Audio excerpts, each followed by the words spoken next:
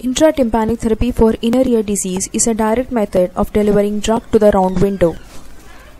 Indicated in Meniere's disease not responding to medical treatment, sudden sensorineural hearing loss, and intractable tinnitus. The commonly used drugs are gentamicin and Solu-Medrol.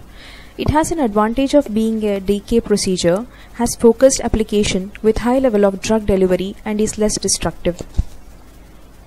It's done either by elevating tympanomeatal flap or making a window in the tympanic membrane.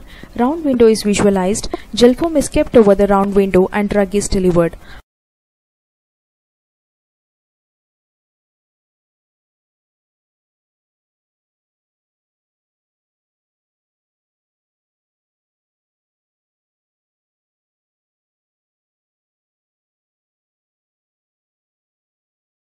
A paper patch is placed over the tympanic membrane to prevent perforation.